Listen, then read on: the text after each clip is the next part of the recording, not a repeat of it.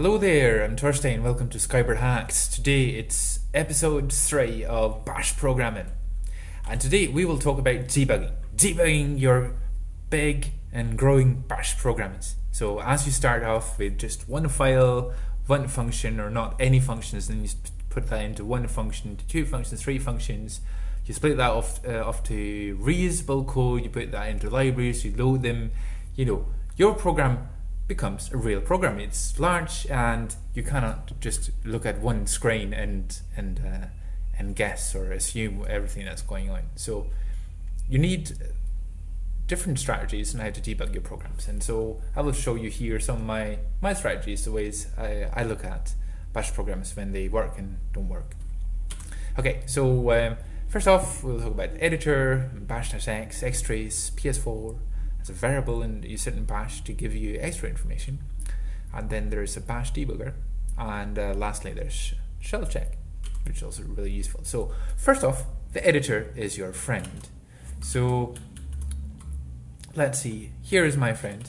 Um, and um, it can really, really help me. Like simple things like, of course, I have set this up with um, shell check and some other integration here. So I can get, you know, I have this underlying thing, but you know, just really, really rudimentary things like indentation can be a, a big help. So if I had like if h equals one, uh, then something, and but the indentation here is really, really strange, right? It indents like 19 characters, and it should be two. I have two space indent, so obviously there's something wrong, right?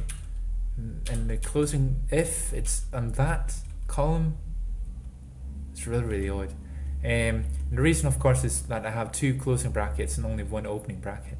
So if I remove one of them, the indentation immediately gets correct. So this is some really, really rudimentary editor support that is really, really helpful. Another thing that the editor helps you out with is, you know, if you have name and let's say that you just write like that, then all of a sudden you can spot that the closing F here, that's green, it looks like a string, but it shouldn't be a string, right? And so obviously there's something wrong with my command. Uh, and also if I do, if I indent this stuff, it's I can indent it at will, and my editor is set up in such a way that I can only indent, you know, there's one indent indentation for you know whatever context I'm in. So clearly there's something wrong here. And the moment I close that string, then the indentation does the correct thing and have the same behavior that, that I would expect. So even if you have just you know nothing set up like LSP or some other fancy coding editor, just that you have basic editor support can be really really helpful of spotting errors. Um, so the next tip is perhaps the most useful one. That's to start your program with bash-x. So here I have a here I have a program called uh, foo sh. It's the one um, I thought we looked at foo.sh. Did I miss, misspell that? Okay, a very simple one that we just saw. Uh, if I start that off with bash-x, um, I get some debug that uh, you know it says h equals 10. I knew that.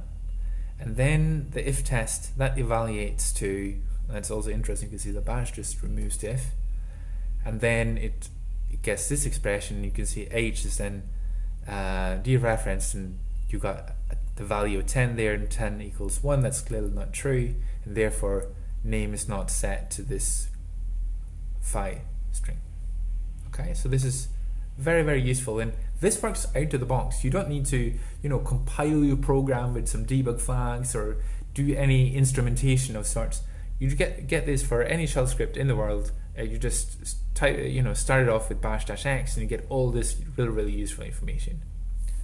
So if you have a look at the more uh, advanced example, uh, I have a program called BlueSH, and that has, um, let's say just comment that out for a bit, you know, that has a, a function that loads some libraries, and that loads this library here, and loads this library, and this library here calls a function in the first library you know so it's you know really really really advanced program right functions, libraries, different files going back and forth. And so if I now start this uh, BlueSH and just run it like that, you can see it prints out hello from green, hello from orange, and I have no idea how that happened. You know, what what was it that made this work?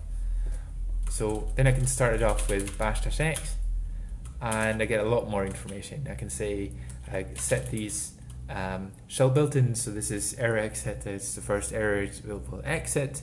Uh, it will also exit if there's any unset variables. I've uh, referred to a, a, variable called name and name hasn't been defined anywhere, then it will fail. And then pipe fail as well if there's a pipe with one pipe, command two, pipe, command three. You know, if command one or two fails, then I also want it to fail. Um, and then it calls the main function, and then the load libraries function, then source, and then hello from green.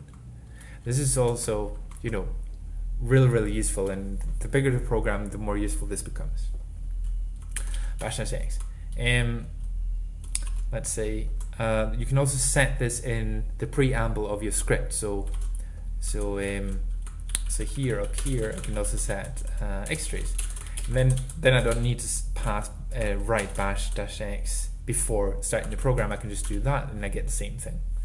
Um, I prefer not to define this in the file itself and then you know because I don't I don't want it to be enabled all the time normally I want this quiet nice clean operation of the command uh, you know no good no news is good news that kind of thing so it's only when I want it need it I call it like that but uh, it's good to know that you can enable it programmatically and this is the way you do it um, then there is a really neat trick. It's called PS4. So that's a special variable. So you might have known, uh, you know, a counter, especially if you use Bash as a shell. You have, um, you know, uh, PS1, um, and you have PS2. And so you, you know, if I want my prompt to be, um, you know, uh, username at host name and then a dollar sign and a space, I do that, and then now my prompt is like this, you know. So there's a PS1 is a special, whoop, is a special variable. And there is another special variable and that's PS4. And if you set that one to this long line, so let's do that. I will I prepare this in, uh, in blue SH. Here we go. So if if you export that, you get um, the file name, the line number, the function name, and then you get some other things I will talk about in a moment. So if I now run bash.x blue sh, you can see, I can see, I can now see which uh, file and what function and what line number uh, has different statements. And this really is really, really useful when you, your command, you have several functions and several files. Like by default, remember, you only have that plus notation. Like this here is the default, the plus, plus, plus, plus main. Uh, I don't know in which file, I don't know what line number and then I set the PS4 variable, and all of a sudden I get full full context. And what's more, in my editor, I can just click it, you know, and I can step through my program. And here I go into a different file, even lib green and uh, and then I jump into lib orange, and that's where it prints out hello from orange. And of course, the reason why that works again, this is another tip, is rather than to say uh, you know, to, to write the string hello from orange because that's the function name. You can also you just you have a func name array which has all the all the functions in the call stack, and so func name index zero that's the current function. So that's why it prints out hello hello from orange down here. Okay, so bash-x and setting the PS4 variable, you know, those two, if you only get, you know, two things out of this talk, this is what to remember. It's very, very useful. And as your program grows, this is, you know, really, really valuable. Next is a bash debugger. There is such a thing as a bash debugger. Um, not everyone knows this, or few people know this. I don't know uh, what percentage, but most people I uh, tell tell about a bash debugger. They've never used one, never never heard of it. So bash db. So you can, let's say, so you invoke it like this, bashdb, and then you program. Um, and this, you know, is a lot like GDB if you use that. So I can do uh, next, next, next, and then there's a function here called main, then I can step into it with S, and then next, and next, and then I can evaluate things. Um, yeah, step into that one next, and so, and so on.